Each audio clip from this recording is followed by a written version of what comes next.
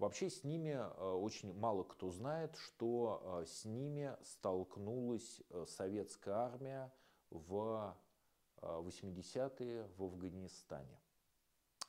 В э, афганской войне э, советские бойцы и командиры такие винтовки называли «бур».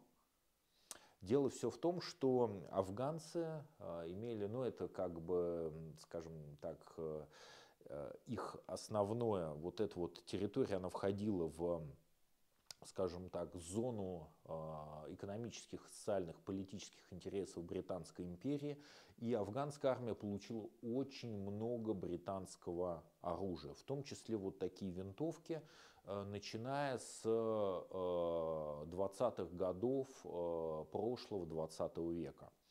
А, надо отметить, что к 80-м годам очень многие пуштунские племена на юге Афганистана, э, их основное оружие это были вот именно такие винтовки. Боеприпасы были весьма распространены, легко было их обслуживать, их было очень и очень много. И когда началась э, боевые действия в Афганистане, то, в общем-то, афганцы вполне использовали их против э, советских солдат и офицеров.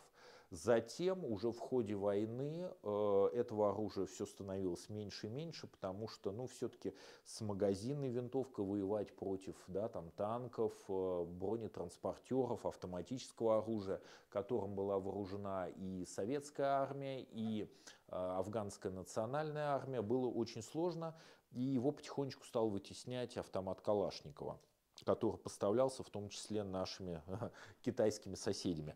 Вот по, тоже по социализму, скажем так. Но такое оружие, оно весьма и весьма было распространено, и э, бойцы и командиры советской армии из ограниченного контингента в Афганистане очень много их захватили э, в качестве трофеев.